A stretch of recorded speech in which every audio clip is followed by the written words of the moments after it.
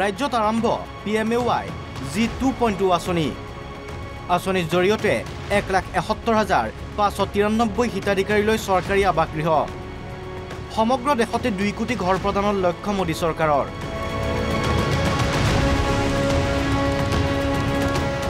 গ্ৰাম্য গৃহ নিৰ্মাণৰ উন্নয়নো ত্বৰান্বিত কৰাৰ লক্ষ্যৰে ভাৰত চৰকাৰে আৰম্ভ কৰিলে P M A Y.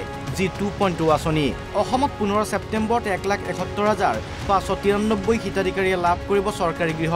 দুহেজাৰ ষোল্ল চনৰ পৰা অসমৰ হিতাধিকাৰীলৈ পি এম এ ৱাইৰ অধীনত বাইছ লাখ তেইছ হাজাৰ চাৰিশ পঁয়ত্ৰিছটা পকীঘৰ অনুমোদিত হৈছে।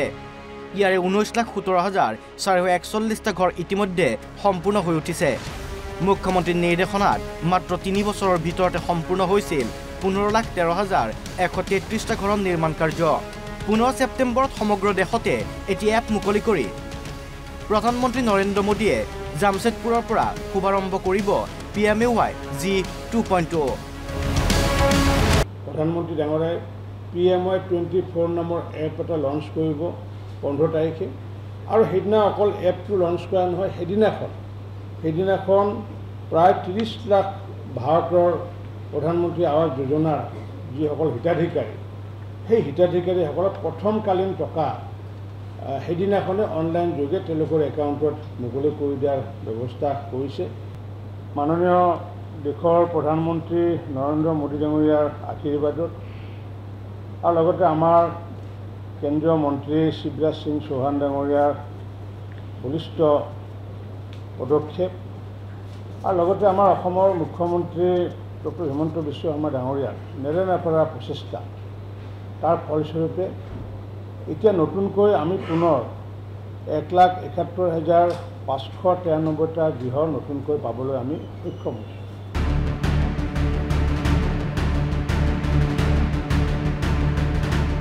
ইতিমধ্যে অসমতো দৰিদ্ৰ লোকসকলৰ বাবে আবণ্টন হোৱা এই গৃহ কোনো কাৰণতে অযোগ্য ব্যক্তিয়ে যাতে লাভ নকৰে তাৰ প্ৰতি চোকা দৃষ্টি ৰাখিবলৈ সংবাদমেলযোগে আহ্বান জনালে বিভাগীয় মন্ত্ৰী ৰঞ্জিত দাসে। তালিকাৰ পৰা অযোগ্য ব্যক্তিৰ নাম কৰ্তনৰ নিৰ্দেশ। মই বিধায়কসকলক আহ্বান জনাইছোঁ যে বহু সময়ত এটা অভিযোগ পোৱা যায় যে পোৱা মানুহে ঘৰ পুনৰ পায় বুলি এটা অভিযোগ পোৱা যায় বা যাৰ পকী ঘৰ আছে এই পকী ঘৰত থকা মানুহে ঘৰ পোৱা এটা অভিযোগ আমি পোৱা যায়। পূৰ্বতে যিহেতু এইবোৰ ছাৰ্ভে দুই হাজাৰ এঘাৰ চনত ওঠৰ চনত হৈছিলে গতিকে সেই সময়ত ময়ো যিহেতু দায়িত্বত নাছিলোঁ গতিকে সেইবোৰ আমি পোৱা মানুহৰ নাম কাটিব পৰা অৱস্থাত নাছিলে।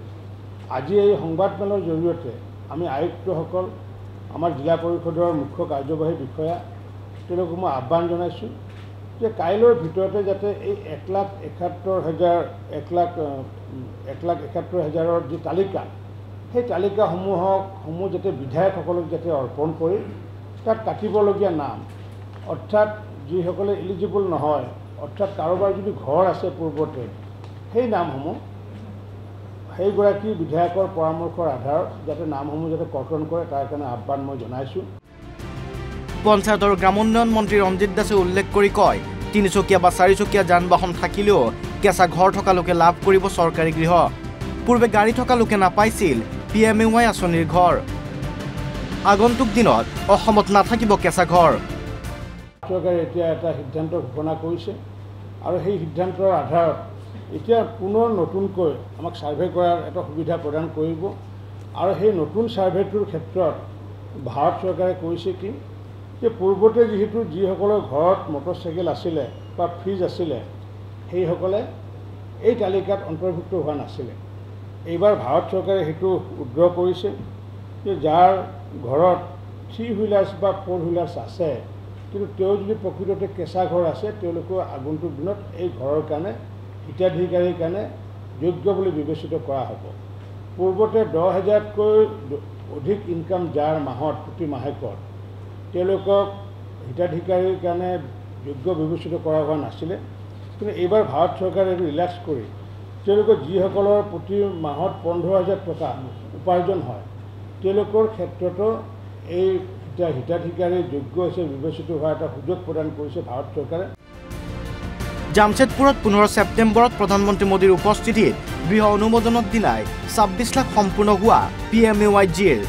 গৃহ প্ৰৱেশৰ লগতে দহ লাখ হিতাধিকাৰীলৈ প্ৰথম কিস্তি মুকলি কৰি দিয়াৰ সমান্তৰালকৈ অসমতো প্ৰতিখন জি পি ব্লক আৰু জিলাত একেদিনাই এক লাখ এসত্তৰ হাজাৰ পাঁচশ তিৰান্নব্বৈ হিতাধিকাৰীয়ে গৃহপ্ৰৱেশ এক লাখ তিনি হাজাৰ পাঁচশ পঁসত্তৰটা সম্পূৰ্ণ হোৱা গৃহৰ প্ৰথম কিস্তি মুকলি কৰিব।